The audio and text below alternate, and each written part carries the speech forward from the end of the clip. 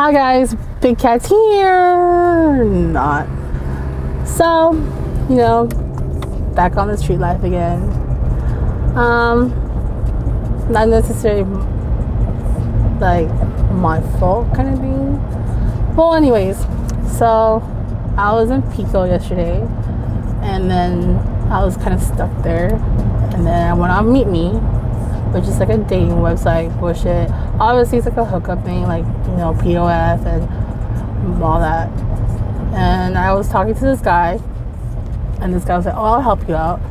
And obviously, when someone wants to help you, nothing comes free in this world.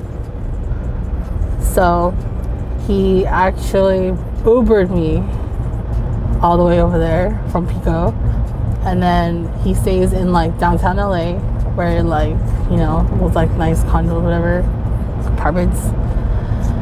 And obviously like he was saying that I'll, he'll let me stay there if, you know, if he can like have sexual intercourse with me. And obviously it wasn't exchange like that. It was just more, you know, because illegal, illegal, illegal to do that. Consensual. Yeah, consensual, whatever. So you know, there was intercourse or all that whatever stuff, and then it was an exchange kind of for like for me to stay the night, and then, but he said that it was I was able to stay for like you know three days and stuff like that, but obviously it doesn't get that like that because you know it was what how he wanted it, and I didn't really agree to that. So, and I'm back on drugs.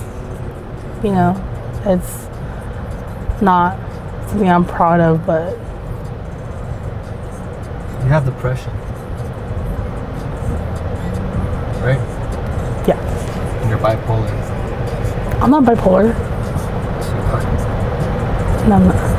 I had depression, yeah, but yeah, Depression is why you have. Uh, depression is one of the reasons why you're, you're an addict, a drug addict, right?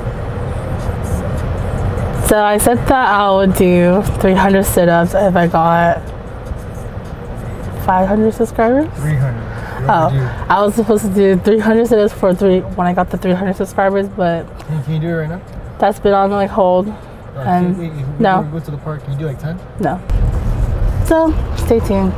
Bye.